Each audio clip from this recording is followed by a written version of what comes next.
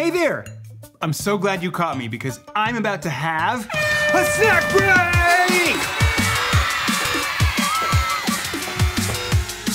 I love a snack break.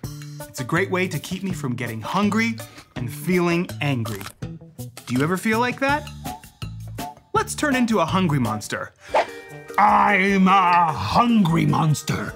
So many big emotions.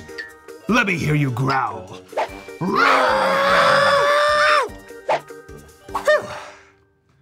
My yogurt bark recipe is the perfect snack to stop my tummy from rumbling when I'm hungry. You can make it at home. Follow along. You can put all kinds of fun foods into the yogurt bark. I like to put strawberries, bananas, blueberries, and grapes in my bark. Take a baking dish like this glass one I'm using and line it with some parchment paper. Then take your favorite yogurt. Mine is just good old fashioned plain yogurt and spread it across the bottom of the baking dish. Make sure you cover every spot on the bottom. Now, it's time for our toppings. I'm gonna have some fun with the fruit. Start with my strawberries and sprinkle some across. Next, I'll add some bananas.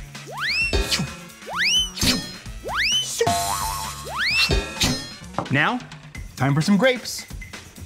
Plop, plop, plop, plop, plop. And for my last fruit, some blueberries. Now for some crunch. I'm gonna take a couple of my favorite cookies and add them to the yogurt bark. We'll finish with my favorite cereal. Now that I've got all my tasty toppings in there, I'm gonna press them down with my hands. It's time to put it in the freezer. It normally takes about three hours to freeze solid. Do you know how long that is? You could sing happy birthday 540 times. Mmm. Here's what you do when it's done. Remember that parchment paper?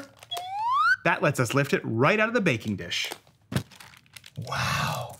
Look at that. Ask your grown up to cut the frozen bark into pieces, then put it on a plate and enjoy. Yum, delicious and nutritious. Thanks for joining me for this quick bite. Have some fun and enjoy the yum. Bye bye. Catch more School of Yum on Noggin. Find more learning videos in Noggin and ask your parents to subscribe to Nick Jr.'s Noggin YouTube channel for new videos every week.